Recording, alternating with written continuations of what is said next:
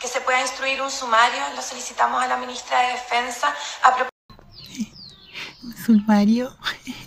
Porque lo que pasa es que a los niños le tiraron agua y le tiraron una bomba de, de gas, de estos de, estos de, de humo. Entonces hay que hacerle un sumario a los, a los militares porque los militares fueron súper malos con los niños porque los niños solamente estaban jugando a tirar bombas mólogos y piedra. Entonces eso no hace daño.